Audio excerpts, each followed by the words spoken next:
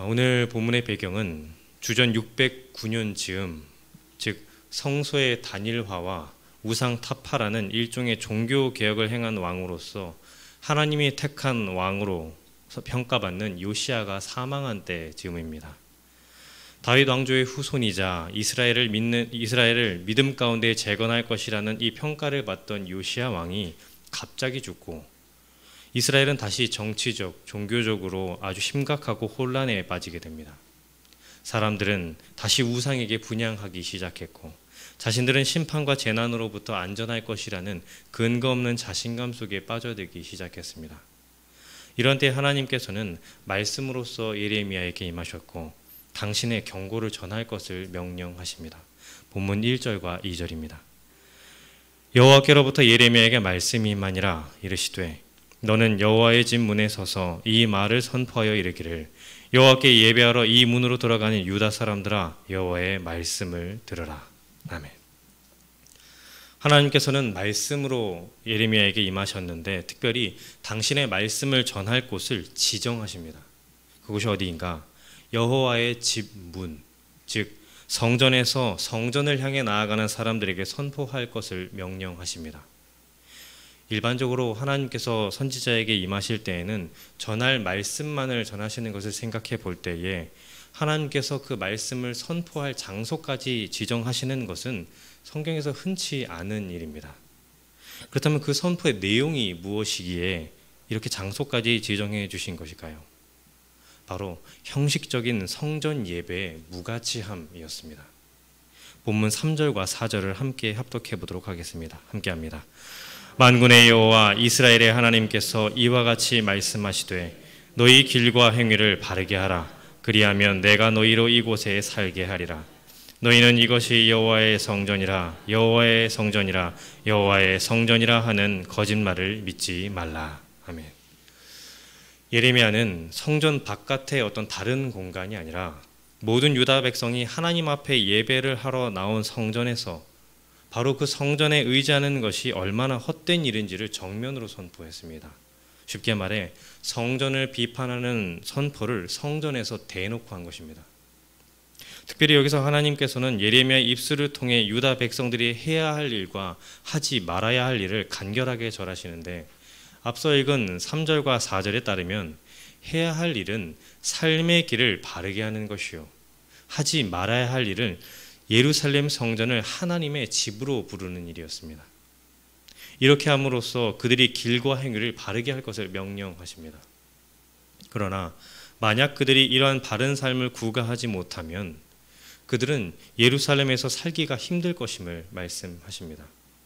그렇다면 당시 유다 백성들의 모습이 어떠하였기에 하나님께서는 선지자의 입을 통하여 하나님의 백성이라 자부하며 살아가던 그들에게 너희 길과 행위를 바르게 하라라고 말씀하고 계신 것일까요? 먼저 본문 4절에 보면 백성들은 이것이 여호와의 성전이라 이것이 여호와의 성전이라라고 말하고 있다라고 합니다. 이 말씀은 당시 유다 백성들의 단단한 착각을 지적하는 것으로서 당시 백성들은 하나님께서 거하시는 곳이 바로 성전이기 때문에 그들의 삶이 어떠하든지 여호와께서 계신 성전에만 들어온다라면 거룩해진다라는 생각을 가지고 살았습니다.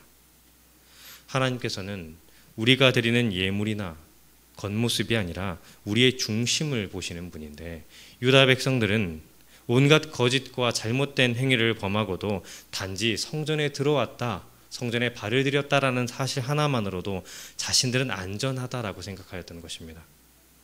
이 하나님께서는 겸손하게 하나님 앞에 서지 않는 저 성전문을 들어오는 많은 사람들을 향해 온갖 교만과 거짓에 물들어서 곧 하나님의 심판을 앞둔 하나님의 백성을 향해 강하게 꾸짖으시고 이곳이 여호와의 성전이라는 거짓말을 믿지 말라라고 말씀하십니다. 성전의 마당을 밟는 것으로 모든 문제가 다 해결되는 것은 아니기 때문입니다. 더불어 하나님께서는 그러한 백성들의 착각과 더불어서 하나님의 백성됨을 증거하지 못했던 그들의 삶 역시도 지적하시는데 본문 5절에서부터 7절이 바로 그 내용입니다. 5절에서부터 7절까지를 합독해 보도록 하겠습니다. 함께 합니다.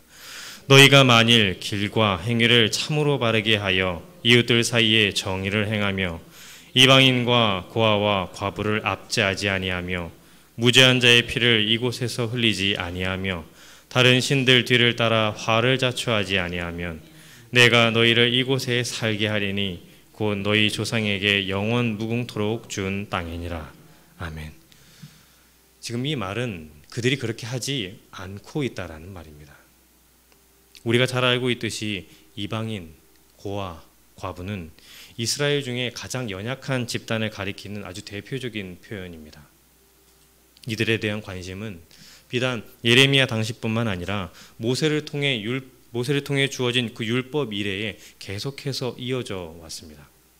실제 이 이방인 고아 과부는 지정학적으로 애굽과 메소포타미아라는 이 두 강국의 통로에 위치한 이스라엘에서 벌어진 그 수많은 전쟁의 직접적인 결과물과도 같았습니다. 이에 하나님께서는 당시에 아무도 제대로 보호해 줄 수 없었던 이들을 위해서 언제나 그들의 보호자가 되기를 자처하셨습니다. 그러나 이스라엘은 그러한 연약한 자를 돌보시는 하나님의 백성이라 자처하면서도 그들은 그저 자신들의 신분을 증명해 줄 경건하고 엄숙한 예식과 그들의 입속을 채워 줄 우상 숭배에만 관심이 있을 뿐 정작 하나님의 관심에는 관심을 두지 않았습니다. 하나님을 예배하는 행위는 있었을지 몰라도 하나님을 닮아가는 삶은 그들에게 없었던 것입니다. 문제는 누구의 이름을 부르느냐가 아니라 어떤 삶을 사느냐였고 그들이 삶을, 사는 삶을 보면 그들이 믿는 신이 누구인지 드러나는 것인데 그들의 삶을 통해서 여호와 하나님은 결코 드러나지가 않았던 것입니다. 이에 예레미야는 그런 이스라엘의 삶을 고발합니다. 그리고 그들이 하는 말인 이곳이 여호와의 성전이라고 말하는 것이 무익한 거짓말일 수밖에 없다라고 말합니다.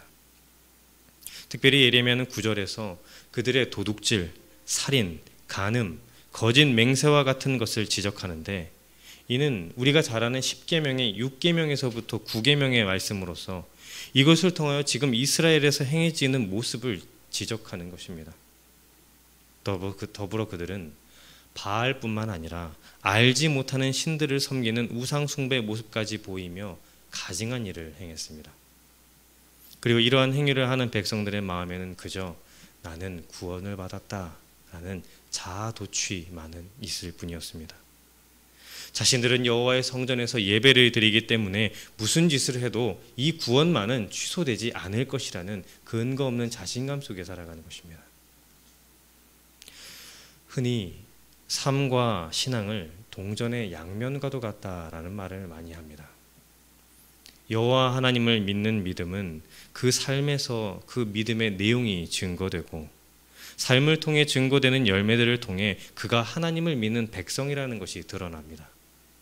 그러므로 하나님을 닮아가는 삶을 살겠다고 입술로 고백은 하면서 그 하나님의 관심에는 관심을 두지 않는 것, 그 삶을 살아낸 일에 힘을 쏟지 않는 것, 이것은 결코 바른 믿음이라고 말하기는 어려울 것입니다. 그렇게 사실 당시의 백성들이나 오늘을 살아가는 우리에게 있어 진정한 적은 외부에서 닥쳐오는 어떤 것이 아니라 사실 우리 속에 있는 껍데기뿐인 종교심입니다.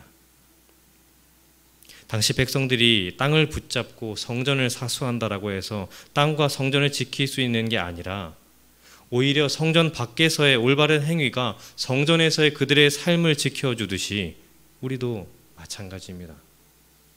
우리 일상이 우리의 믿음을 더 견고하고 바르게 만들어줍니다. 우리의 일상의 삶이 우리가 가진 믿음을 의미 있게 만들어가는 것입니다. 그러나 아무리 좋은 믿음이라고 할지라도 그릇된 행실과 손을 잡게 된다면 남는 것은 거짓뿐입니다. 그렇게 우리는 늘 이러한 행함이 없는 믿음, 내용이 없는 종교심을 경계해야 하는 것입니다. 그리고 이어지는 본문에서 예레미야는 하나님의 전을 욕되게 하고 더럽히는 자들에 대해서 고발하고 있는데 11절의 기록과 같이 그들이 하나님의 전을 도둑의 소굴로 보고 있다라고 말합니다. 이 말씀은 우리가 알고 있는 바와 같이 마태복음 21장에서 예수님께서 예루살렘 성전에 들어가셨을 때 성전에서 매매하던 자들을 내쫓으시고 그들을 향해 하셨던 예수님의 경고의 말씀입니다.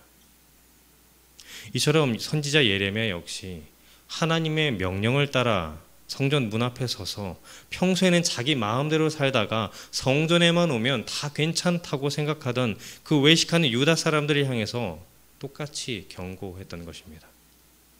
하나님의 길은 따르지 않고 온갖 악한 일은 다 행하면서 어찌 하나님이 그곳에 계실 수 있으며 어찌 그곳을 하나님의 성전이라 말할 수 있겠습니까?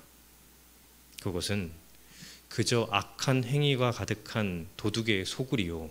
밖에서 온갖 악행을 저지른 도둑과도 같은 이들이 쉼을 청하는 돌아와서 쉼을 청하는 그들의 처소와도 같았습니다. 그리고 이 말씀은 오늘날 우리의 신앙에도 아주 큰 경종을 울려 줍니다. 오늘날도 많은 사람들은 교회에서 예배를 드리는 것으로 성도의 임무를 다했다라고 생각하기도 합니다. 하지만 실제의 생활은 불의를 행하며 어렵고 소외된 자들에게 관심을 두지 않고 각종 우상을 하나님보다도 더 섬기며 살아가면서도 자신은 충분히 구원받을 수 있는 사람이라고 생각하기 일수입니다. 그러나 하나님께서는 이러한 행동을 가증한 일이라고 말씀하십니다. 이에 우리는 오늘 예레미야 선지자를 통하여서 이스라엘에게 하시는 이 말씀을 우리를 향한 오늘을 살아가는 나를 향한 하나님의 말씀으로 받아들이며 나의 행실을 한번 되돌아볼 필요가 있는 것입니다. 오늘 진정 우리의 삶은 어떻습니까? 하나님의 관심을 따라 우리의 관심이 진정 따라가고 있는지, 진정 정의를 행하며 이방인과 고아와 과부와 같은 그 소외된 자들을 우리가 진정 돌보고 있는지 생각해 봐야 합니다. 무지한 자들이 어려움을 당하지 않도록 그들을 위해서 관심을 쏟고 있는지 혹 다른 신들을 쫓으며 하나님보다 그것들에게 더 마음을 빼앗기고 있지는 않은지 우리는 늘 되돌아보고 스스로를 살펴야 하는 이유가 바로 여기에 있는 것입니다. 혹 그러면서도 교회에 오는 것으로 내 할 도리를 다 했다라고 생각하는 그 어리석음을 범하는 그 가증한 자로 살고 있지는 않은지 스스로를 되돌아보는 것입니다. 말씀을 정리해 봅니다. 당시 이스라엘 백성들이나 오늘을 살아가는 우리나 참으로 연약한 존재임은 마찬가지입니다. 또한 악한 본성을 따라가는 것이 참으로 쉬운 존재들임은 그때나 지금이나 변함이 없습니다. 그렇게 우리들을 향해 하나님께서는 그때나 지금이나 계속해서 믿음의 자리로 돌아올 것을 요청하고 계십니다. 오늘 본문 13절입니다. 여호와의 말씀이니라 이제 너희가 그 모든 일을 행하였으며 내가 너희에게 말하되 새벽부터 부지런히 말하여도 듣지 아니하였고 너희를 불러도 대답하지 아니하였느니라. 하나님께서는 당신의 백성을 향해 진작부터 말씀하셨습니다. 여기 새벽부터 부지런히라는 표현은 당신의 백성을 향한 하나님의 열심을 보여줍니다. 돌아와라. 돌아와라. 하나님은 줄기차게 말씀하셨지만 백성들이 듣지 않았던 것입니다. 바라기는 오늘을 사는 우리는 이러한 백성들과 같은 전철을 밟지 않기를 소원해 보는 것입니다. 당시 백성들은 하나님의 말씀은 듣지 않고 그들 스스로 죄 사함을 선포했고 그들 스스로 구원을 선언했습니다. 그리고 결국 그러한 백성에게는 약속의 땅 실로가 소용이 없듯 성전도 소용이 없었습니다. 그러나 오늘 말씀을 마주한 우리는 다른 길을 걷는 것을 결단할 수 있기를 바래 봅니다. 우리에게 매일같이 주어지는 이 말씀 앞에서 나의 길을 되돌아보고 모양과 포장지로만 우리의 성도됨을 보이는 것이 아니라 하나님의 말씀을 애써서 살아냄으로써 우리의 성도됨이 증명될 수 있기를 소원해 보는 것입니다. 성도의 밑힘, 성도의 저력은 말씀을 살아내는 데서부터 나오기 때문입니다.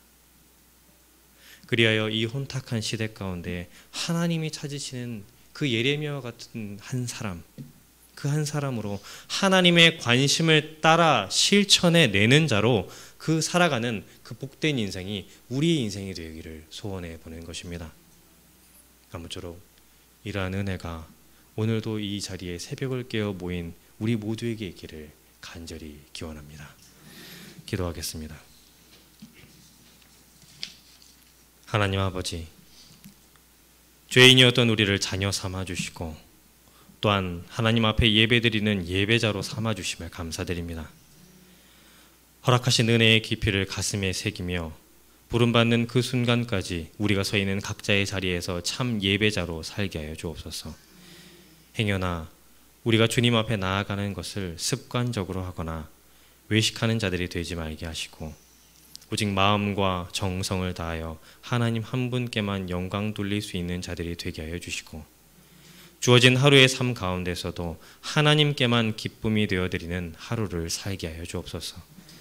오늘도 새벽을 깨워 이 자리에 나온 모든 걸음을 긍휼히 여기시사 아버지께서 베풀고자 하시는 복을 주시고 주어진 삶 속에서 주님의 돌보심으로 살아가는 주의 자녀 되게 하여 주옵소서. 감사드리며 예수 그리스도의 이름으로 예수 그리스도의 이름으로 기도하옵나이다. 아멘.